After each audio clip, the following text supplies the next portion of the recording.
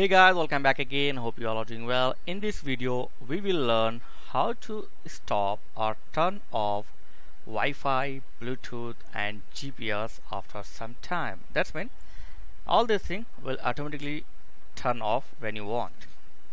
So for this, you need to download a simple app from the Google Play Store that's called Unconnectified. So find this app in Play Store, download and install. Okay so after install just tap this app to open. Now you need to tap on plus icon to set the time. For example I want to turn off my Wi-Fi after 8 or 8 o'clock yeah? I think 8:39 take it okay. Then press OK and here you can see the Wi-Fi is turned on. So is Wi-Fi selected. Now select the days like Monday Tuesday Wednesday like this okay? That's it it's set now.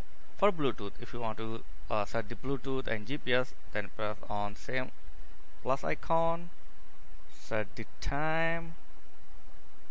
Okay. Turn on the Bluetooth and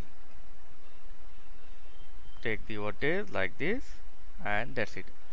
After this certain time your Bluetooth or Wi-Fi and GPS will automatically turn off.